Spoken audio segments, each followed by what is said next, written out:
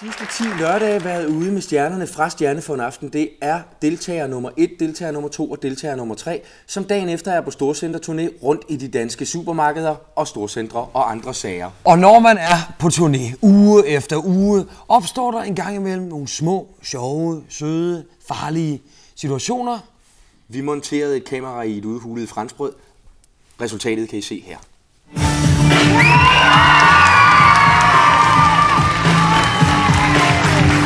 Vidne til, det er, at de fede for en gang skyld øh, skriver autografer, og det er noget, de er meget, Undskyld, meget hvornår bliver det sendt?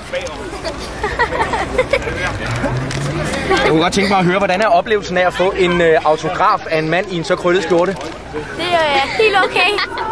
Det er ret Okay, hvordan har du det med det? Det er fint nok. Undskyld, hvornår bliver det sendt? Vi er jo det... Gå lige væk, Claus. Så. Se, vi er jo de fede. Vi er sendt i verden for at hylde den pæreformede kontorkop. Ja, og det er jeg godt nok. Det er vi. Og Men derfor er vi meget, meget glade for at se fjernsyn i går aftes, da det gik op for os, at Claus, som jo også er fra Aarhus ligesom os, han vandt en tredjeplads. Han kan også. Han har nemlig snydt. Han har bare se her. Hjemmefra. Det kan vi jo! Mavernes by! Just around the corner, just half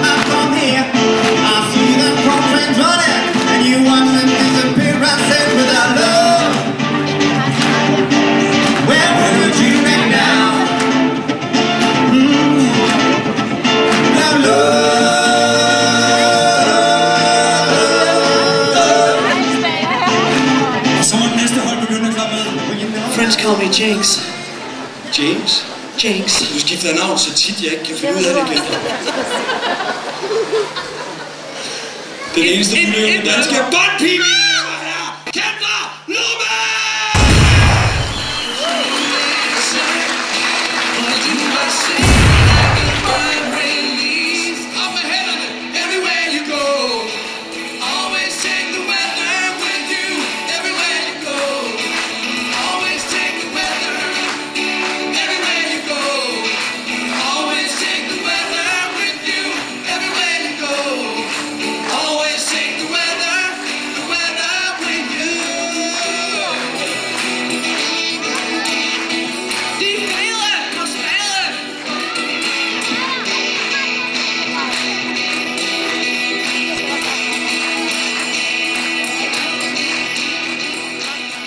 I går mødte jeg in person, live on stage. Ladies and gentlemen, let me introduce to you repræsentanten for Deloitte Tusch. Herr Bas, den mest legendariske person i dansk showbiz, det er han blevet i hvert fald. Han står for mig som et ikon. Uh, han er ægtheden selv. Han er for mig beviset på, at hvad man ikke har mellem ørerne, må man have mellem benene. Lord, I'm coming home to you. I'm coming home to you. Well, I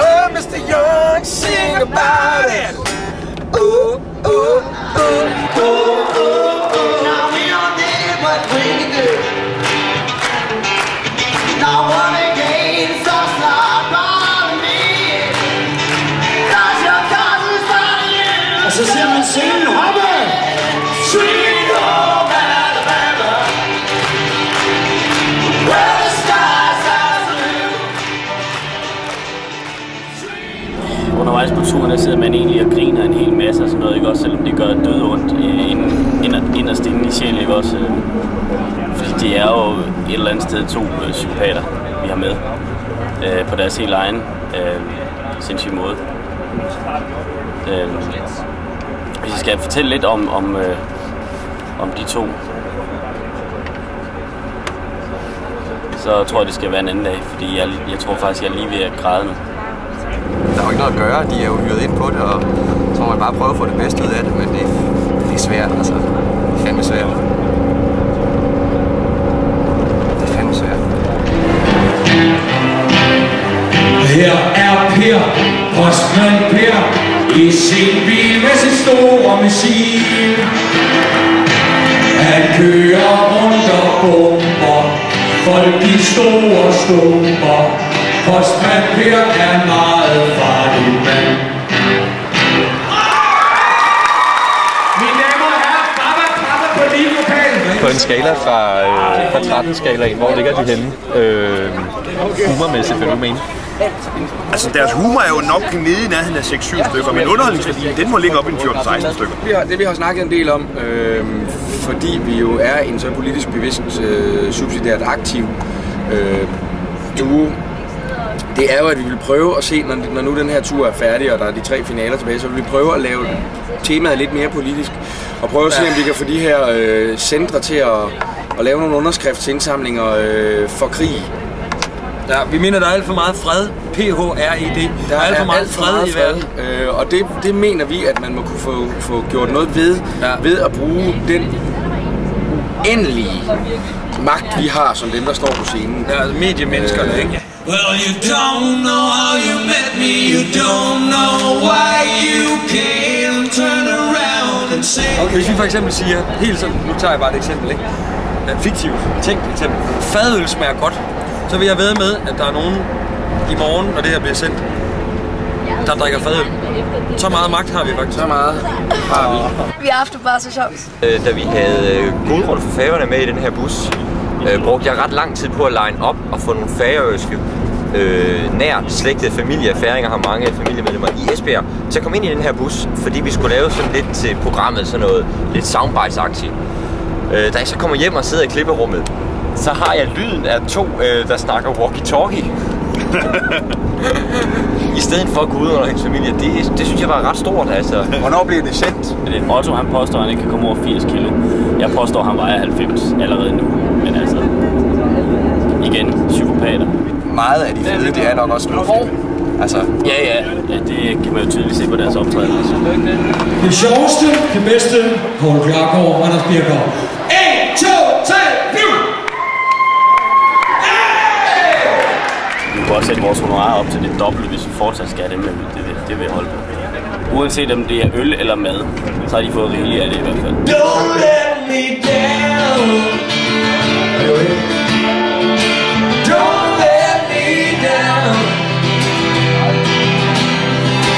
Don't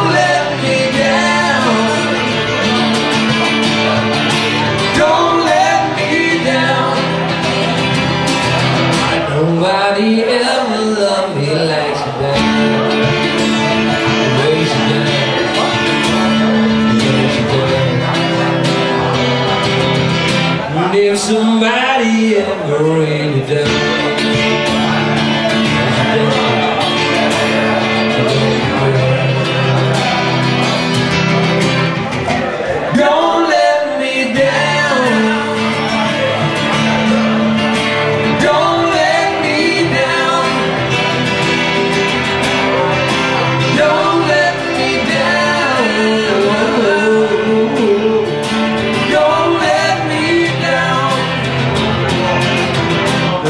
بالله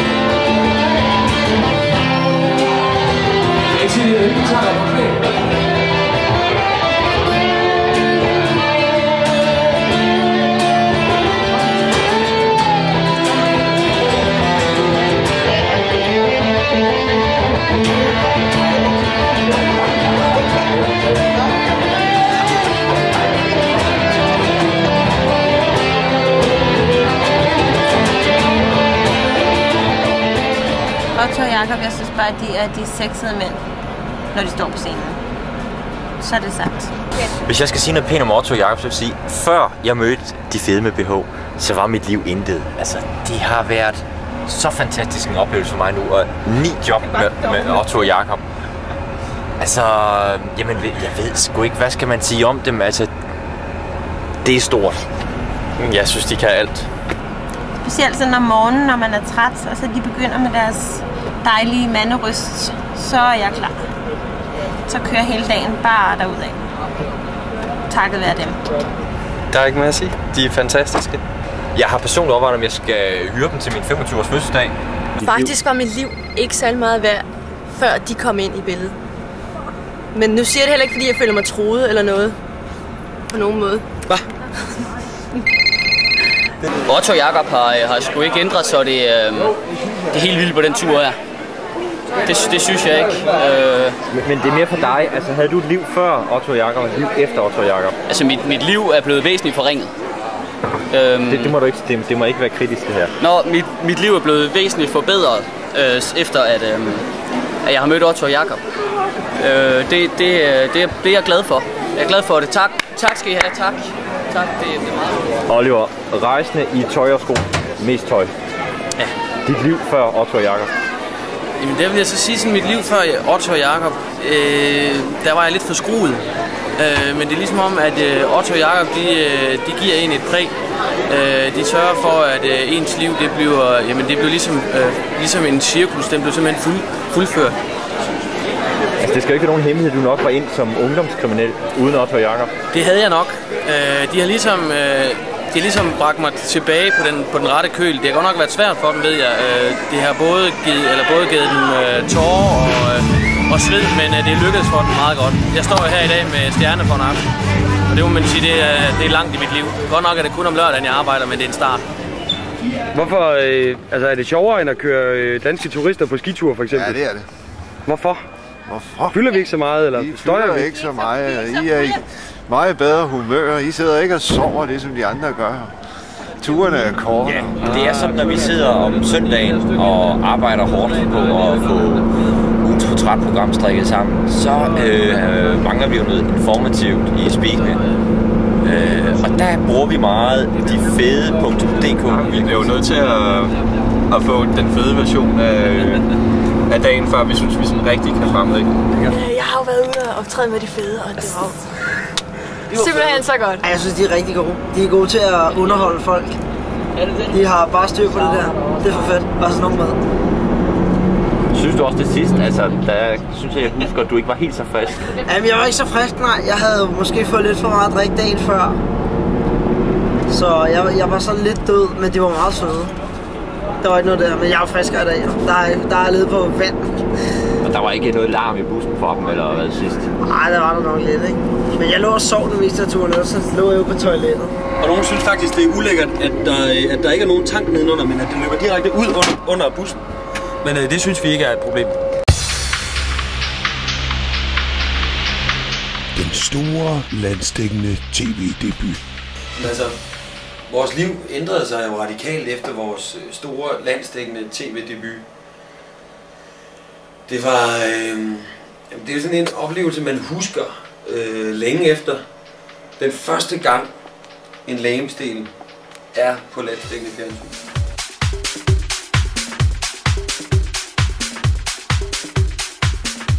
Ja, det, det er faktisk rimelig stort. Øh, jeg har faktisk ikke øh, været den samme siden. Jeg skrev 1000 autografer, efter jeg har været på landsdækkende fjerner. Og øh, ja, så har jeg vel også lavet en øh, håndstand. Lad os nu det, altså dagen er jo øh, slut omkring klokken, jeg ved ikke, halv fire eller sådan noget. Så må vi bare øh, vide det i os. Hold ud. Altså, jeg skal jo nok med det samme tog som det. Ja, det skal jeg ikke. Jeg skal med en, en time senere, det har jeg fået øh, planlagt med DSB. De kender dem også. DSB kender dem også. Så man kan sige, De kender dem man kan gå ind og som de spørge, hvornår har de fede pladsbilletter? Der vil jeg ikke med. Ja, lige Det er præcis. så. Ja, ja. Okay, de hedder bare ikke de fede, de hedder de lede, når de rejser med DSB. Det skal jeg huske så, hvis jeg nu De har engang spændt ben for den der rullevogn der, der kører ned igennem øh, togkupéen. Og jeg siger dig, hun fik en flyvetur, den der stewardesse. Og det griner de bare af. Psykopater. Jeg kan ikke sige det Der er ingen af os, der spiller ret godt på guitar. Til gengæld er vi nogle rigtig, rigtig, rigtig, rigtig dårlige siden. Så øh, sådan er det jo. Jesper, vi ved jo, at du er så meget ganske ung sniffet lim. Ja. og øh, der fik du jo et tilnavn. fik et øgenavn, kan man godt kalde det. Og jeg ved godt, at man vil kalde det fantasifuldt, men Limfjord. Og jeg havde øh, bestemt mig for i forvejen, at hvis det var sådan, det gik galt, og jeg ikke kom ind, og der var et eller andet, der gik fuldstændig kage, jamen, så havde jeg bestemt mig for, fordi jeg skal jo en eller anden måde på, på forsiden af BT eller Ekstrabladet. Så jeg ville have øh, gået ned foran, og øh, eftersom det er et live-program, så kunne de jo ikke stoppe mig. Så havde jeg trukket bukser ned, munet publikum og råbt fisse så højt jeg overhovedet kunne. I festugen 2002 spillede duoen nede på Pustervig, og øh, der gik det faktisk hverken værre eller bedre, end at Janis Joplin og Jimi Hendrix kom på scenen sammen med os. De kom hoppende ind, den ene på en rokokopude, og den... Hoppende på en kængurustylte må det være. Jeg vil gerne interviewe Martins kæreste. Hej Martins kæreste, hvad er det, som er du hedder? Karen. Det var godt, tak. Det er lort over, ikke? Ja, skal man ikke bide over det, skal man faktisk hive sådan. Ej, han er skæg, han er skæg. Øh. Man kan jo også øh, let bryde ud, altså lade sig overvælde og bryde ud.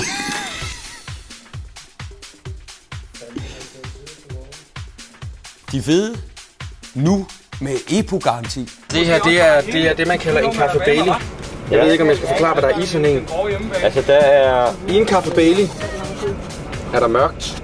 Der er meget mørkt nede i en kaffe Bailey, men i en kaffe Bailey, der er der øh, Bailey i. Og øhm, kaffe. Det er faktisk de to ingredienser. Man skal med løs hånd simpelthen bare skænke fra flasken herover i. Sådan der. Øhm, og så simpelthen punkt nummer to. Det er så her, hvor mange gør fejl. De tror, de kan hælde te i. Men det er faktisk kaffe. Voila. Læs eventuelt mere om turen på www.difede.dk En gang imellem, så, så, så tænker jeg på, om, om, om du simpelthen har spist en nudansk ordbog, og så bare tilfældigt vælter de ord ud, som du har konsumeret.